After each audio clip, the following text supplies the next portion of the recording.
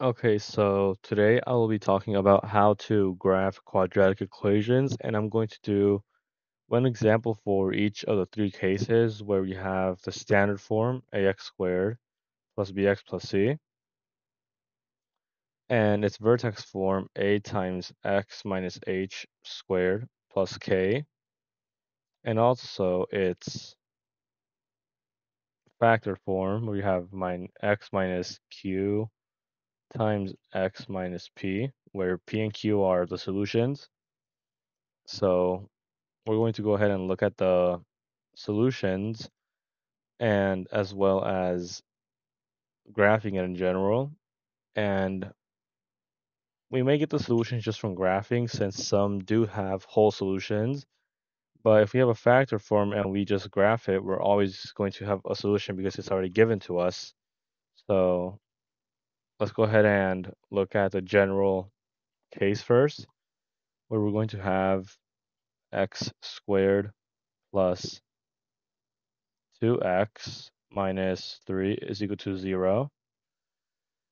Sometimes this is going to be written as f of x is equal to 0. But most of the time when you're graphing it, you also want to see what the solutions are. So that's why sometimes it's better to write is equal to 0 since you're going to be solving it in some sense. And we're going to go ahead and graph it by making a Cartesian graph. And we're going to make a table on the left side. And we're just going to label x and y as the respective values that are going to be plugged into our equation, which will give us an output. So we're going to start off with negative 2, negative 1, 0, 1, and 2. So let's go ahead and just see what we are given. So when x is equal to 0, we are obviously going to get negative 3 because 0 squared plus 2 times 0, all this makes 0, which just leaves negative 3. So we're going to have a y value of negative 3. So when x is equal to 0, we have negative 3.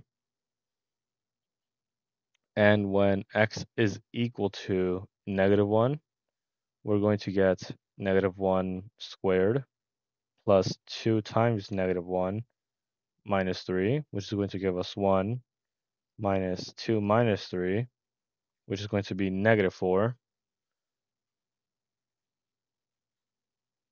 And when x is equal to negative 2, we're going to get positive 4 minus 4 minus 3, which is going to give us a value of negative 3.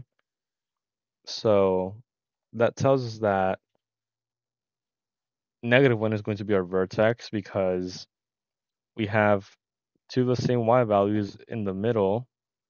And here we have 4 in the middle, so we have 3 and 3, which are just one unit away in the x-axis. So we're going to have negative 1 here, negative 2 here, and the x or the y value is going to be negative 4. And we're going to have a point here. When x is equal to 0, we're going to have negative 3. And when x is equal to negative 3, it's going to be at negative 2 comma 3. And it's telling us that our lowest point or our vertex is exactly at negative 1 comma negative 4. So we're going to continue plotting a few points, which are 1 and 2. So we're going to look at x is equal to 1, where we're going to get 1 plus 2 minus 3, which is going to tell us that when x is equal to 1, we're going to get y is equal to 1, or not 1, 0, which is a solution to our quadratic. So we're going to have 0 here.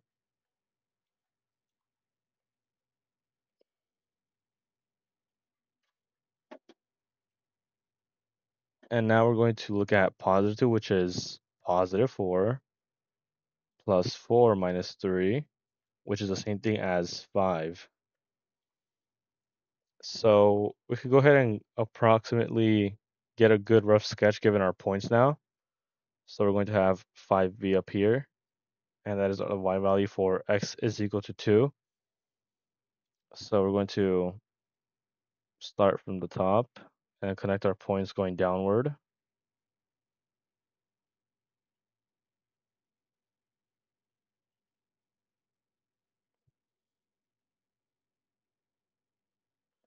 So the parabola should look something like this as a rough sketch.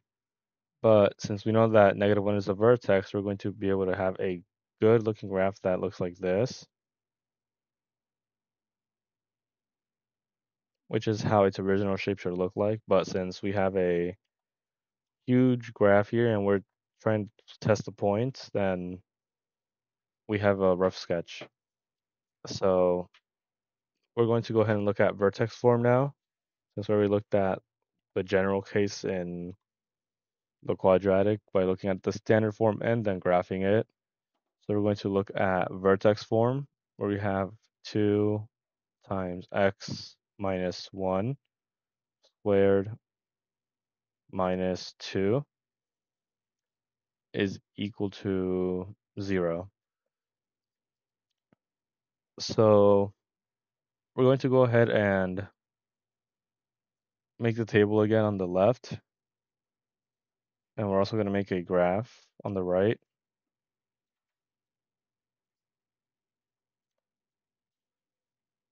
So let's go ahead and have x and y again. Where we're going to have negative 2, negative 1, 0, 1, and 2. So we have 1, 2, negative 2 and negative 1 and 0. So we'll just plug in 0 first. So we have 2 times negative 1 squared minus 2. That tells us that we have 2 minus 2, which is equal to 0. So giving us that 0 is one of our solutions. So we're going to have 0 there. And we're going to write 0 comma 0. And we're also going to go ahead and look at 1, which is going to be x, or 1 minus 1, which is equal to 0. And 2 times 0 is going to be, of course, 0. So we're going to be left with negative 2. So when x is equal to positive 1, we're going to be left with negative 2. And when x is equal to positive 2, we're going to have 2 times 1 squared minus 2, which is going to give us, again, another solution of 0. So we have our second point, which is here, and our first point is at negative 2. So there's our two solutions. And we're also going to look at negative 1 we're going to have 2 times negative 2 squared minus 2, which is the same thing as 2 times 4 minus 2, and 8 minus 2 is equal to positive 6. And for negative 2, we're just going to have 2 times negative 3 squared minus 2, where we're going to get 2 times 9 minus 2, and we're going to have 18 minus 2, which is going to give us positive 16. So we can go ahead and plot our points roughly. We're not going to use positive 16 for negative 2. We're just going to start from here and look at how it's going to approximately look like.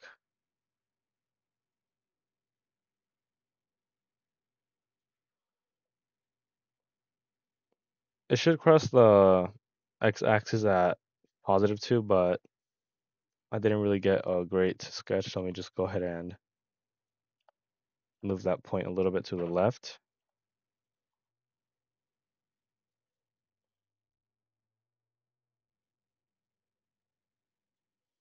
So our positive 2 should be right here. So that's how it should look like, giving us our two solutions that x is equal to 0 and positive 2. And it has a vertex at 1, comma, negative 2, since we are given it already here. Just set this value with the parentheses equal to 0, giving us x is equal to 1, which is going to be our x coordinate for our vertex.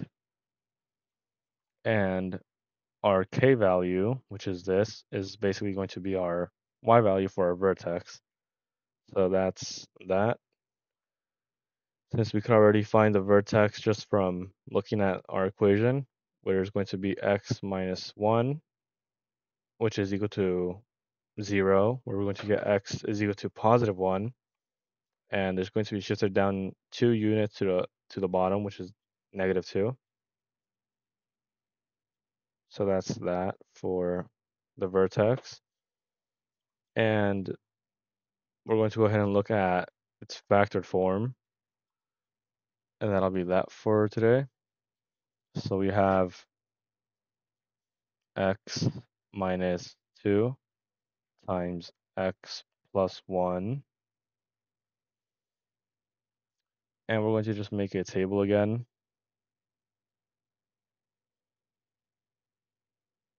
And a graph as well.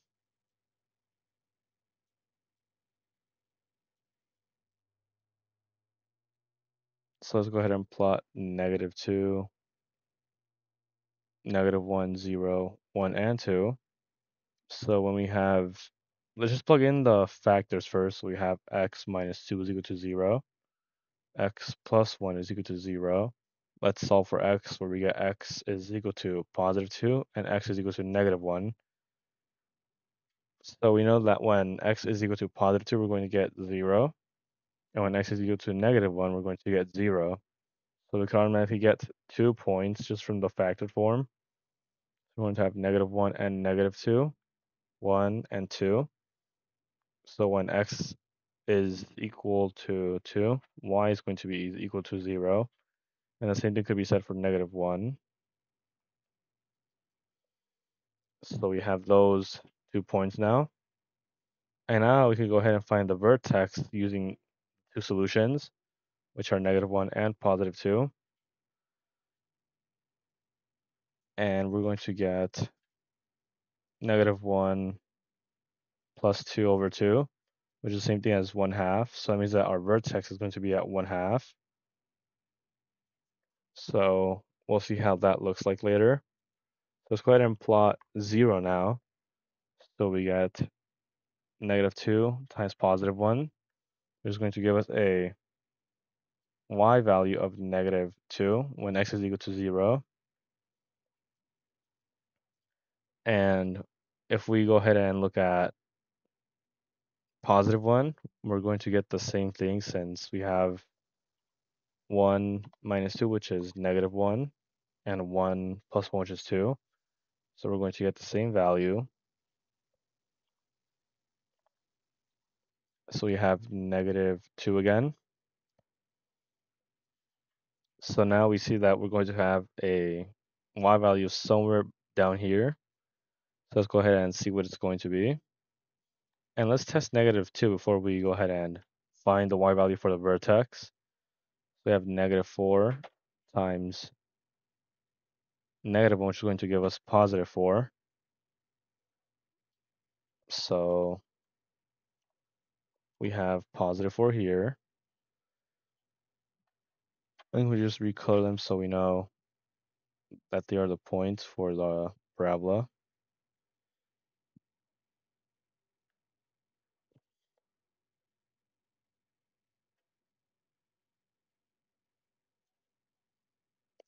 And now we're going to look for the y value of the vertex. And then I'm going to have 1 half minus 2, which is the same thing as negative 3 over 2. And 1 half plus 1 is equal to 3 over 2, which is going to give us 9 over 4, which is somewhere around here.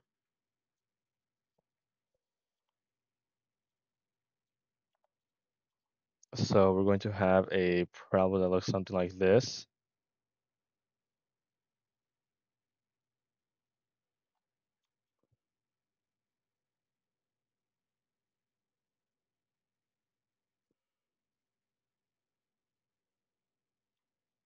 No, that was horrible. Excuse me for that.